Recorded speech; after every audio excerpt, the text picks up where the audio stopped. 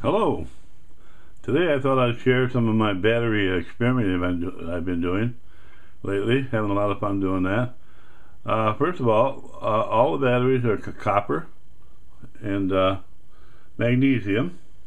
They're all separated with paper, the magnesium from the copper, and the uh, they all been bathed in uh, a solution of Epsom salts and water I mix, uh, I dissolve a half a cup of uh, Epsom salt into a half a cup of water completely, and then I I bathe the uh, batteries in it and add some substitute salt uh, to, them, rub it in, and end up with what I end up with. Anyway, I'll start out with this one right here. Let me uh, put this on flour. This is an inch and a half copper pipe.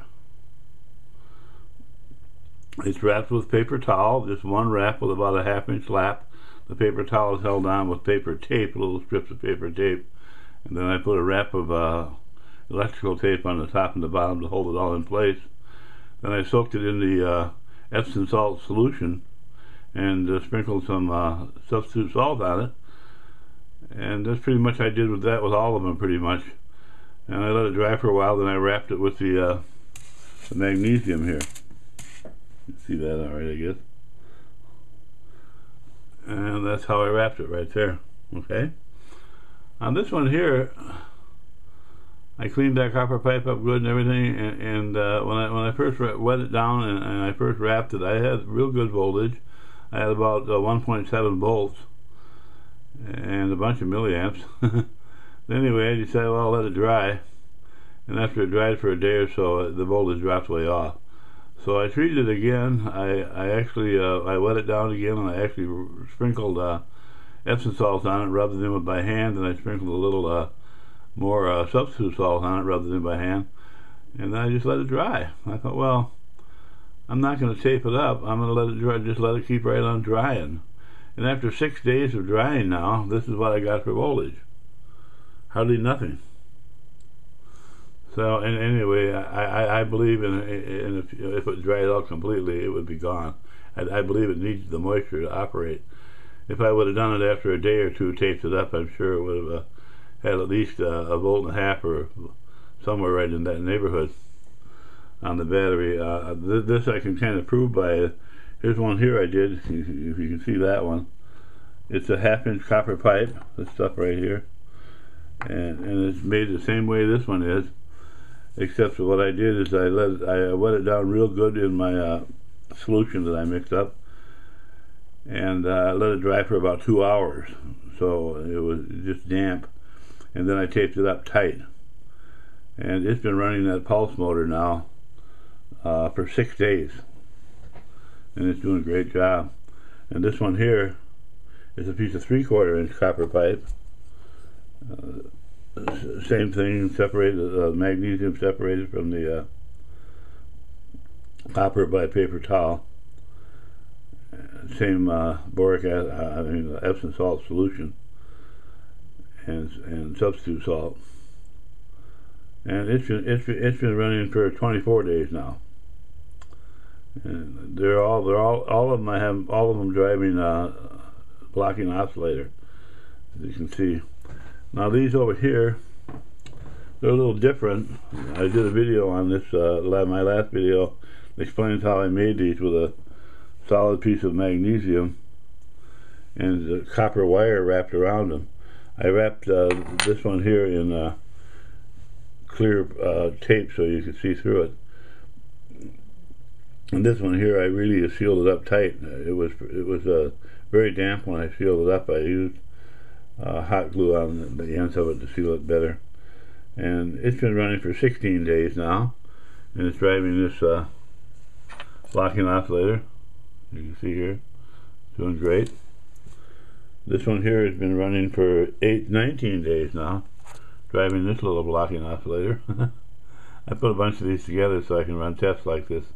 Um, by the way, these blocking oscillators are only drawing about uh, uh, somewhere between 30 and 40 microamps. They, they draw very little current. And, anyway, uh, th this one here the one I put the Radio Shack uh, chokes on. This battery here is the same the same thing. It's uh, copper wire wrapped around one of these magnesium bars separated by paper towel and uh, uh submerged in uh, my Epsom salt uh, and water solution and substitute salt. And this is running this one here, if you can see that. Uh, there, there you go. It, it's been running it now for 32 days, non-stop. So a little water locked into them uh, little magnesium copper batteries, it makes it makes a big difference. Here's another one over here. This is one of uh, Lidmotor's, uh, a replica I did of his. It's almost an exact replica of his. All these are replicas of his, but just made a little bit different. Anyway, on this one here, I'm running it, if you can see this here, it, it's just a sheet of copper inside this container, and and uh, one one of one of these uh, fiberglass, not fiberglass, magnesium uh, bars right there. See it in there. That, that that's that's just water in there, and that's been running for over a month. So this is this is kind of an ideal little situation. It really works good. But anyway, they're all working fairly well except this one here. It, it just dropped right off to just about to, to just about nothing. So what I'm going to do with it now is I'm going to go ahead and wet it down again. I'll use uh, and uh, uh, then I'll hang it up and let it dry for a couple hours, and then I'm going to tape it up. And I'm sure I'll have a, a fairly decent battery out of it that'll last quite a while. So anyway, that's about where I'm at with these things. Been having a lot of fun with it. Well, there's one little one over here. now you see a soda straw there, and that's what's running that one. All that is is a piece of magnesium ribbon and uh, and a piece of copper wire. And they're separated by a paper towel, which I sprinkled a little uh, substitute salt in, in, the layers of paper towel. Then I submerged it in my uh, Epsom salt water solution and and I, I let it pretty much dry out, and not not completely though. And I slid that straw over it. I think it's been running now for about five days. It'll probably go for a long time yet, especially if I put a couple little drops of water in that straw once in a while. And I had a lot of fun doing this stuff. Anyway, that's my update on the little batteries. Been having fun playing around with them, experimenting with them. Uh, hope you're having fun too. Thanks for watching.